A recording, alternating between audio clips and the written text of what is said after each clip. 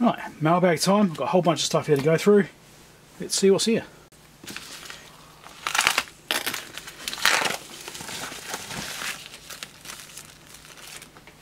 Hmm.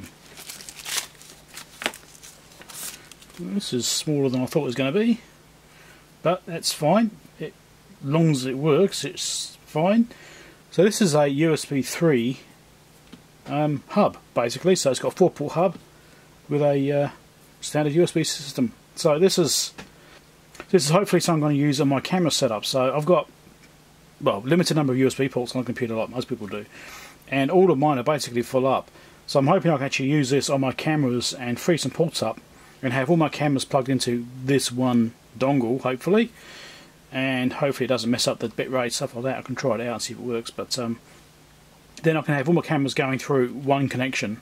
And then when I'm finished live streaming or whatever, I can just unplug it and power the cameras down. So I've just got one connection instead of having to unplug lots of cameras. And hopefully it'll free up a bunch of USB ports at the same time. That's the plan. See what's in this one. Oh, come on.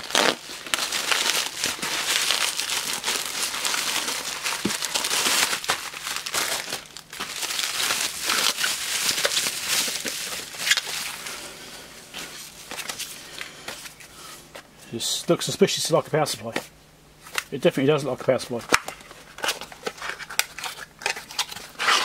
So when I did my last live stream, I had an issue with my power supply for my ambient lighting. In the background like the little, little light show I going in the background anyway.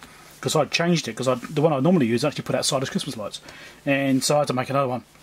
And the power supply I had was really noisy. I ended up doing a modification during the live stream to uh, use a different power supply instead of voltage down so um, it would be quiet. And that sort of made me think, actually I need to get some more of these power supplies because I didn't actually have one which I could use. This is a 5 volt power supply. So this is a Mean Well 5 volt 10 amp power supply. Now Mean Well is actually a good brand, so I trust them. They've been, you know, they're known for being quite good. So I've got a 5 volt power supply which can do 10 amps max, DIN rail mount, and um, I can go in my drawer with all my other power supplies until the day I actually need to use it. There'll be links down below for these things too, don't forget that. I have to make sure you can see that. Hmm, that was what I was expecting, okay. So these are some USB 3 extensions. I've got these to go with this thing because I've got USB 3 ports on the back of my computer because I've got some extension cards on there, the PCI slots my computer's 2010 doesn't have USB 3 by default so I had to add a card to do that. So I needed extensions to be able to reach this to put this somewhere where I can reach it for doing the cameras and stuff easily. So just two extensions. I think it's about one half meters or one meter and 50 centimeters something like that.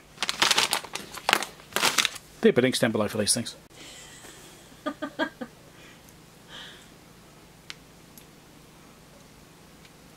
My old cat she's about 19 now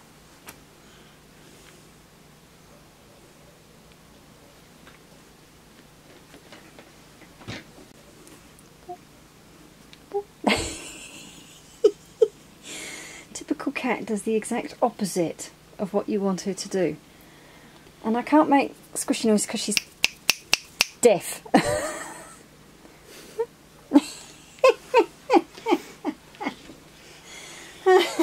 we'll put her down on the floor now. Right. Moving on.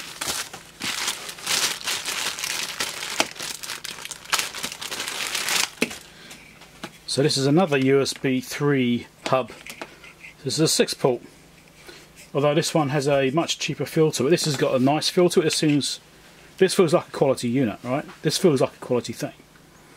Um, this doesn't feel so quality. The, the plastic feels a bit cheap, but it's got seven ports. What was I thinking it had six? Anyway, it's got seven ports on it. So if this one isn't enough, I can use this one, assuming it actually works okay. If they work okay, I'll, I'll put links in down below in the description for each of these. If they don't work okay, I won't because I don't want you buying something which doesn't work. Now I'm suspecting this one's got multiple packages in it, so I may have to stop Oh no, it's just the one thing. Excellent. Small package, don't get that much. Surprised how big the package is actually.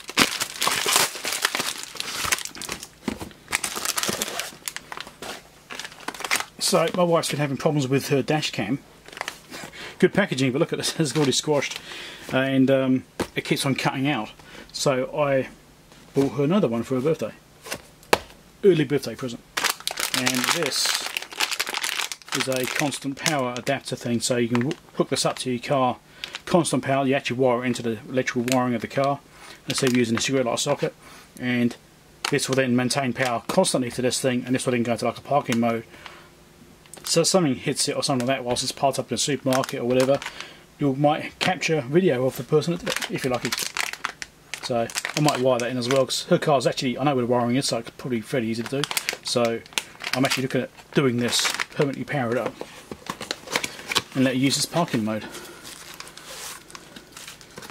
So let's see what we got here. Big box, there's even more underneath.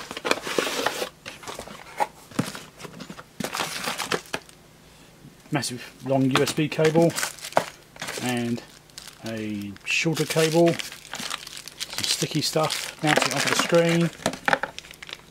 There's a 128 gigabyte SD card in there, another USB cable, cleaning cloth thing, and a little spudger. Okay, doing panels, so you can lift panels off so you can run cables through. Okay, it's quite comprehensive. There's a mount. Oh no, that's not the mount, that's the camera. Wow, what's this one? Well, one of the cameras anyway. So this is a camera here, and so is this one. This has got two cameras. SD card goes in there. This is the bracket. So that you stick that on the windscreen. This then attaches to that, which will be you know something like that, that kind of angle. And then you've got your camera here, which you can adjust. That's nice. And it gives you controls in your little screen there, which should all be visible fine from inside the car.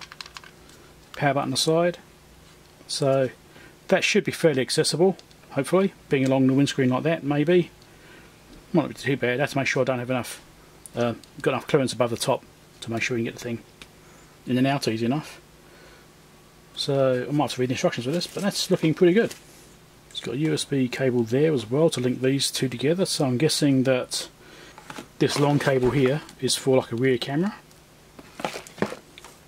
Yes, a long one must be going right through the car to go to the rear.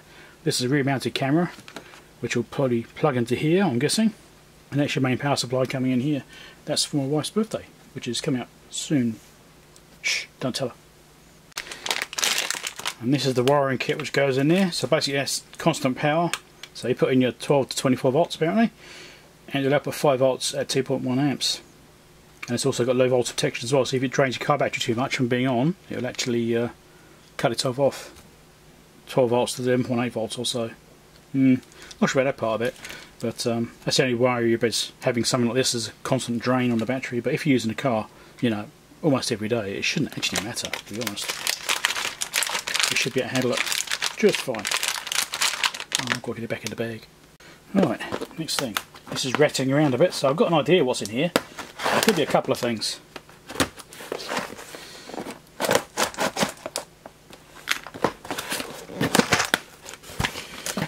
Right, whole bunch of large-ish crimps, different sizes.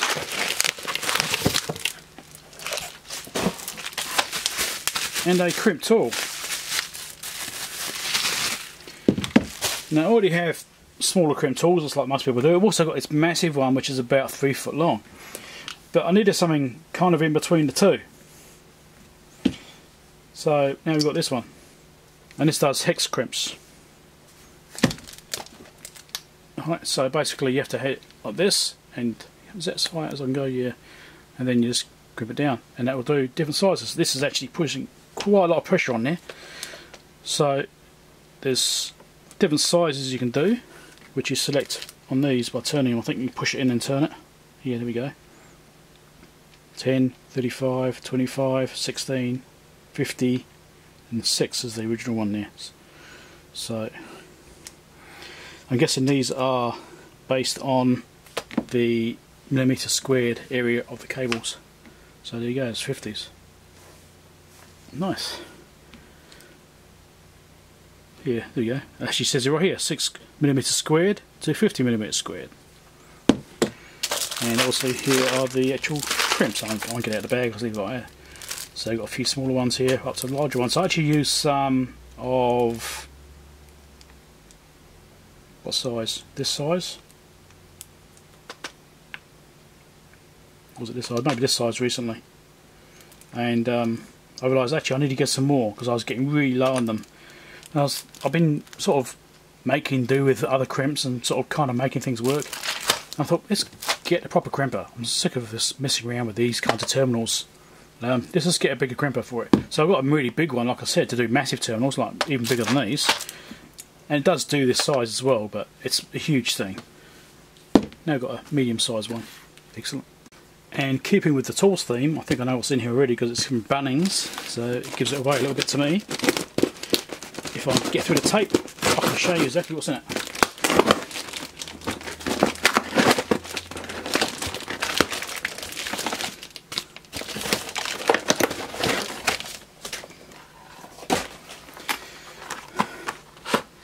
Impact drivers, hexagonal set which go from 5mm up to 19mm.